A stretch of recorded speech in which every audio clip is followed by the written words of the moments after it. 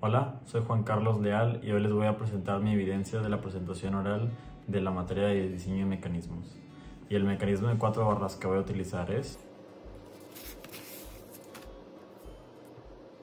Las medidas seleccionadas para este mecanismo fueron 8 para el marco, 4 para el eslabón motriz, 8 para el eslabón conector y 4 para el eslabón impulsado, todas en pulgadas. La condición de grafo que se debe cumplir para este mecanismo es que la suma de las longitudes de S más L sean iguales a P más Q, debido a que el marco que utilizamos es la barra de 8 pulgadas. Para los cálculos a mano, se utilizaron las leyes de coseno y de seno para encontrar los ángulos pertenecientes al paralelogramo de los triángulos O2, AO4 y el triángulo ABO4.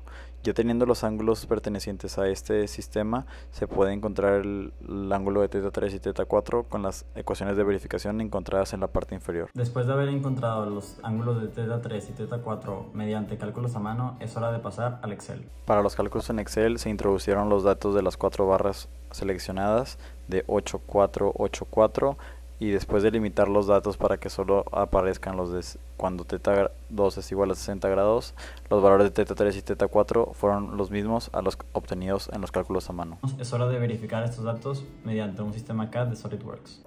Con el objetivo de facilitar la comprensión del mecanismo, se optó por hacer de cada barra con, un diferente color según su longitud y con el valor de su respectiva longitud encontrado por la parte delantera de cada barra. Después de ensamblar las cuatro barras con las medidas seleccionadas para cumplir la condición de Grasshoff requerida, observamos que el mecanismo sí funciona con un doble rotatorio. Cuando se tiene un teta 2 de 60, se encuentra un teta 3 de 0 grados y un teta 4 de 60 grados también. Observando la consistencia de teta 3 y teta 4 en los tres métodos de verificación, pasamos a la etapa de manufactura. Theta 3 y Teta 4 siguen siendo consistentes ya que se utilizó una aplicación de calibración de planitud para verificar que la mesa esté a 0 grados y se puedan medir los, ángulos de Teta 3 y Teta 4 de la manera correcta.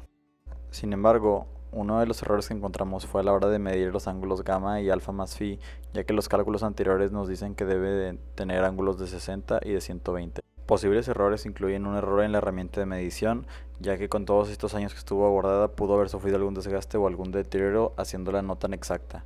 De igual manera, una mala toma de medición de ángulos en el sentido de, que de la posición del transportador que no estuviera lo suficientemente recta o incluso la misma toma de la fotografía para medir, para medir los ángulos pudo haber estado en una posición que no fue la adecuada. Por último, una mala manufactura del mecanismo en el sentido de ajuste de tornillos, tuercas o espaciadores que pudieron haber hecho que las barras no estuvieran lo suficientemente justas para hacer las mediciones. De igual forma se debe cuidar el proceso con el que se quisiera realizar este prototipo a mayor escala para reducir el consumo de energía y las emisiones que pudieran emitir al hacer ese prototipo.